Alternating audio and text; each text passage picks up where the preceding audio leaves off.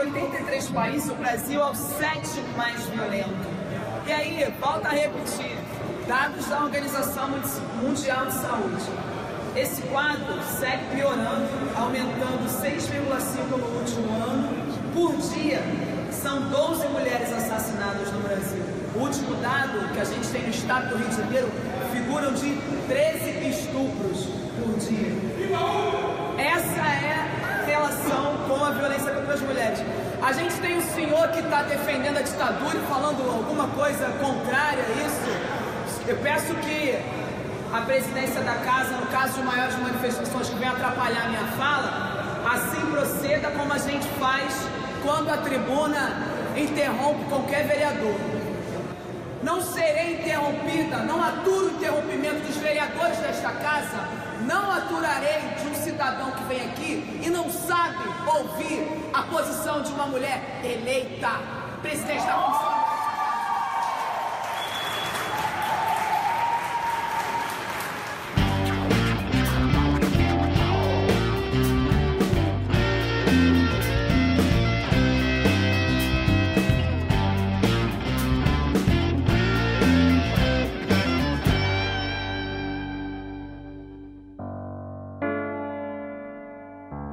Comissão. Marinete da Silva. Eu sou de uma pessoa, né, na Paraíba. Estou aqui no Rio depois que casei. Eu casei em 22 de julho de 78. Marielle nasceu 27 de julho de 79. Marielle ficou, acabou ficando cinco anos quase sozinha, porque aí eu voltei a trabalhar e juntar e tal para poder a Anne nascer. E nesse Nesse tempo, a gente já estava morando do lado de lá, que é o Complexo da Maré. Nesse período que elas estavam bem mais novas, eu fui para a Prefeitura da Previdência, trabalhando prestando serviço, na área jurídica também. Com 19 anos era casa, né? Um ano antes do casamento, eu... Eu fui mandada embora da inspetoria, né? Fiquei nove anos trabalhando no Brasil, elas duas aqui com o pai, e eu trabalhei em vários lugares. E nesse período a Maria cresceu muito. A Maria, inclusive, assume, né? Assume tudo que a gente precisava que ela, que ela assumisse, né? Como filha mais velha e tudo. E depois do casamento, Loiara nasce muito cedo também. Ela faz uma provinha para ser auxiliar de creche da prefeitura, passou. Conheceu, inclusive, Marcelo Freixo na época. Né? E quando eu tenho uma seleção para, no primeiro mandato da Maria, da, do Marcelo, trabalhar alguém com ele diretamente. Como a Maria já estava né, inserida no processo de, de, de PUC, né, de SEASB, como secretária, então a Anne apresentou o Marcelo, era no, uma atividade no Odeon. E tem a eleição dele, ele ganha e Marielle começa a trabalhar com ele por 23 anos. Porque tem uma amiga dela que foi morta ali na, na, numa rua no Parapente da Jaqueline. E dali ela sentiu uma necessidade maior de, de entrar num projeto com mais, entendeu? Mais força, né? Querendo mesmo saber o que, o que seria, né? Que teria que fazer a mais em relação à segurança pública. Advogando em área civil e, e previdenciária e Marielle ligado a todo direitos humanos junto com a Alerj. A gente tinha trocava informação em função do que ela fazia, né? Somente a após dela, né, lá na PUC, que já foi entrando para dentro da parte de, do UPP, e, e também em relação ao mestrado da UF, que foi Segurança Pública. Eu vivi na Maré a intervenção militar 14 meses. Os favelados e faveladas sabem exatamente o que é o barulho do tanque na sua porta. E onde é que vai ser realmente a intervenção? Quem sabe aonde a ponta do fuzil vai ser apontada? Eu prefiro ficar com o processo democrático, no qual as nossas diferenças estão colocadas, mas o processo de liberdade e coerência se mantém, do que uma autocracia e um lugar que será destinado e orientado por outro governador que não o governador eleito. Eu sou a Aniele, irmã da Marielle, eu sou professora hoje. Fiz duas faculdades, inglês e jornalismo, e dois mestrados também em inglês e jornalismo. Sou mãe, sempre acompanhei a minha irmã, a gente ia sempre nos bastidores, né? E agora a gente, infelizmente, teve que trocar o lugar, assumir esse lugar de fala. A gente vem nessa luta de cria da maré até hoje, assim, de sair de lá para tentar sempre buscar o nosso lugar o sol. De muito tempo, assim. É uma batalha que começou desde pequena. O trabalho de Marielle não era, não, não, não começa só nessa nessa pauta ali onde ela chega, né?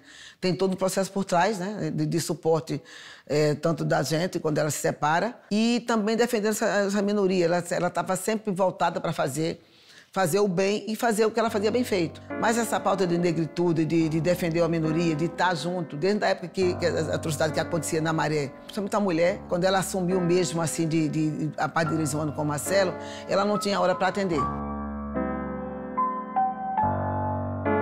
Sim, mãe falou que não queria que ela entrasse. Cara, para com isso. Para quê? Vocês fazem um trabalho maravilhoso na Comissão de Direitos Humanos. Para que, você vai se candidatar? Para que isso? Deixa isso para lá. Esses caras não prestam. Então aí eu acabei é, aderindo também à parte política dela para ajudar. Mas ela fazia uma coisa diferente. É, fazia uma política com amor, com afeto, né? Foi uma coisa boa para o partido. O partido não tinha nenhuma mulher negra, não tinha uma mulher da idade. Então, tanto para ela, né? Pelo que ela acreditava, né? E que ela já cobrava, né? O partido também é, levou para uma pauta de, de, de, uma mulher, né? Que defendia todas as classes, defendia né? uma minoria, né? Aí começou a defender a negritude, a mulher negra de um modo geral, o LGBT, é, toda, toda uma parte social muito, muito grande. Chega é, com a quantidade de votos, né? Com 46.502 votos. Né, sendo a quinta do, do, Rio de Janeiro. Então segue uma pauta que não, não dava para segurar, e não deu para segurar, né? Para nós, mulheres, luta é cotidiano. Nós sentimos todos os dias os seus reflexos. Durante a campanha da Marielle, a gente passou por algumas situações bem escrotas, assim. Do tipo, as pessoas olharem o panfleto e falar favelada e preta nem ferrando que eu vou votar. Vai entrar lá pra roubar também. Era desse nível, assim. Ela, cara, você que tá com mais tempo, a gente tem que fazer alguma coisa. Vou entrar em contato com algumas amigas que eu tenho de ONG, de escolas públicas, até mesmo na UERJ e tal, pra gente poder levar umas palestras e vamos falar sobre isso, é importante. A gente começou, começou a oferecer para falar de tudo, assim. A gente, por exemplo, foi em uma ONG falar sobre DST com as meninas, sabe? Fomos em outra falar sobre machismo para os meninos. Então, assim, foi bem bacana. Foi um trabalho muito legal que a gente fazia junto com a campanha dela, assim, em paralelo, né? A gente já vinha nessa discussão do que, que a gente ia fazer para trabalhar com os jovens, para trabalhar com as mulheres. A gente já tinha o nosso movimento, já estava... Desde 2016. Fazendo, é, desde 2016 fazendo algumas oficinas. A morte da Marielle foi um impacto muito grande. A gente parou com tudo e a gente não tinha mais forças. E a partir dessa dor, né, de tudo que foi acontecendo nos, nos meses que se seguiram, é, com muito choro e muito sofrimento, a gente pensou: vamos recomeçar. Inspirados nessa, nessa força, nessa pessoa que se doou tanto e lutou tanto por tantas coisas, a gente não pode deixar isso morrer. Você acha que a maioridade penal deve ser reduzida? Menores de idade que fazem algo contra a lei ficam impunes? Então precisamos ter um papo franco. Vamos discutir sobre redução da maioridade penal. Vamos ocupar tudo. E aí nasceu o Papo Franco, né, que é um lugar de vez e de voz. O que a gente quer com o Papo Franco é isso: é trazer as pessoas para esse lugar de fala. As mulheres negras, é, a população LGBT. A gente quer todo mundo discutindo, a gente quer a sociedade inteira. Não há música, não há arte que traduza meu pranto. Não há tiros, não há covardes que executem meu canto. Não há justiça que nos caiba inteiro num 15 de março. Abraço, enriche, insiste. O caso está sendo investigado, né? Hoje não tem ainda nada concreto. A gente tem apenas que né, eram três homens, que as câmeras estavam desligadas, que os tiros foram na cabeça. Existem duas linhas, uma de que pode ter sido vingança, né, ao povo do pessoal, como um aviso também.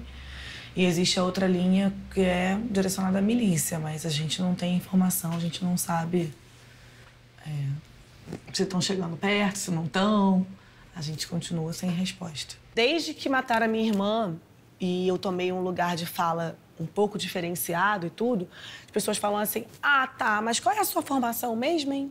O que, que você pode fazer com isso? Mas você tem capacidade para falar? Você tem... E aí a gente começa a assumir um outro lado, porque todos os momentos que a gente vê protagonistas, poucos nós vemos negros. Eu não sabia que eu ia lidar com a dor dessa maneira. Eu não imaginava que eu ia me transformar isso aqui. Porque hoje eu vou falar para vocês, quem matou a minha irmã criou um monstro agora. Enquanto eu tiver sangue correndo por essas veias, enquanto eu tiver força, enquanto eu estiver viva para levar o legado, para falar da memória, para defender, eu vou defender. E a gente vai seguir falando enquanto a gente puder. Mas é para seguir mesmo e demonstrar que tentaram calar, mas que não conseguiram, né? Preferia mil vezes ela aqui falando do que eu. Preferia ela com todas as coisas que tinham de irmãs e de melhor amiga, preferia que ela tivesse aqui. Assumir um lugar de irmã caçula para a talvez a âncora da família hoje, numa posição que não era minha mesmo, é muito difícil. A covardia foi tão, ele foi tão bruto com a minha filha, foi tão bruto que não dá assim para você, sabe? Eu como mãe, não dá para mensurar o que é isso. Não dá para você imaginar o que que se passa depois de uma tragédia dessa. Só quem passa. Não adianta. Essa família nunca mais é a mesma. A Maria é arrancada da gente, na verdade, né? É, é, tão brutal que eu vejo minha filha saindo, dez minutos depois, minha filha, anunciar que minha filha está morta. Então, é difícil. Não foi uma bola perdida, não foi um acidente. Aquilo ali foi, foi pensado, né? Teve um mentor para aquilo tudo. Olhar para minha mãe toda noite e vê-la chorando é muito difícil, dói muito. O pai, ele é mais introspectivo e tal. Tiveram algumas vezes já dele chegar e falar assim: eu tô com uma dor tão grande, um buraco tão grande e desabar. Mariela era uma líder daqui, né? Era uma líder em todo lugar que ela chegava, mas ela era uma líder na família. E não ter ela significa que alguém ia ter que assumir isso aqui. E quando eu assumo esse lugar, porque tudo hoje que a Luiara, meu pai e minha mãe têm que decidir em relação a Mariela, eles me perguntam antes.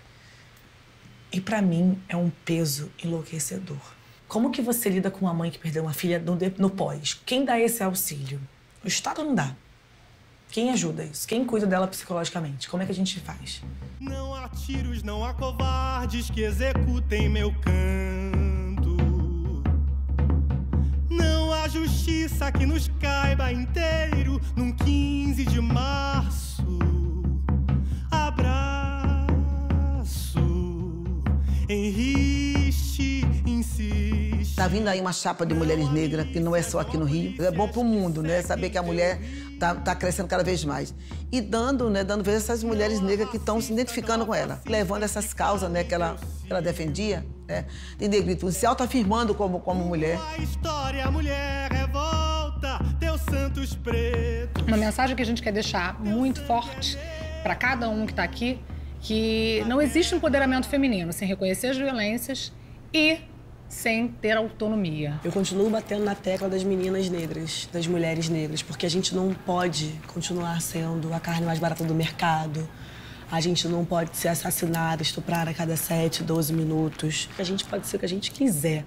E é óbvio que vão fechar as portas, vão tentar sacanear, vão tentar puxar o tapete, vão tentar não deixar você entrar por causa do seu cabelo, da, sua, cor da sua pele. Mas a gente continua tentando. Além disso, a dizer para vocês que todos os rótulos que a Marielle tem hoje, a Marielle tem uma raiz. A Marielle teve uma criação. Quem era a Marielle por trás daquilo ali tudo que todo mundo vê hoje? E eu não consigo olhar para uma menina negra, seja ela sapatão ou hétero, lá o que for, e não falar, cara, faz o que você quiser na sua vida que você pode e pega na mão uma da outra e sigam juntas, porque é só assim que a gente muda esse retrato atual que a gente tem. Eu acho que Marielle é um símbolo, é um mito, tem que ser lembrado. Acho que daqui a anos, para uma negra que enfrentou, uma negra que chega no poder, que legitimou essas causas todas que ela defendia, de uma minoria, dando voz a quem não tinha que enfrentou, que chegou ali legitimamente né, e conseguiu só ser calada por uma atrocidade dessa, né, por uma covardia dessa. Então eu espero que daqui a um tempo, sei lá que época que for, a gente leve cada vez mais longe o nome dessa menina, né? Porque para mim é uma menina, né? Ela não temia nada, ela não escondia nada, ela não se curvava a nada. Ela não esnobava nada. Ela era fogo, água, pedra, ela era abusada, ela era favelada. Ela era bissexual, ela era ousada, ela era luta, ela era brava. Ela era mais velha, ela era minha melhor amiga, ela é minha anja, minha retaguarda. Era meu maior sorriso, ela me acalmava e acalmava meu temor. Ela foi eleita, mas também foi executada. Acharam que ela iria embora e que nunca mais incomodaria, mas erraram. Erraram porque ela é semente, uma semente que germina e cresce, uma semente que nos aquece. Assim como ela, eu sou, você é, porque nós somos.